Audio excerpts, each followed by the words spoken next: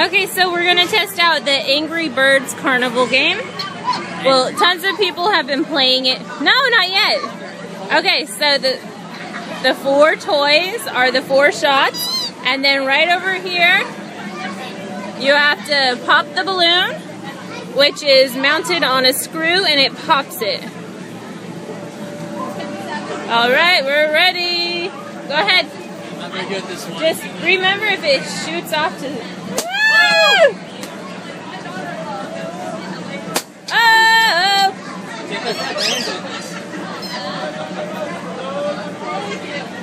Oh! One more shot. Oh! This game is rigged. No, it's not. Woo! Woo! All right, that's Angry Birds done my way.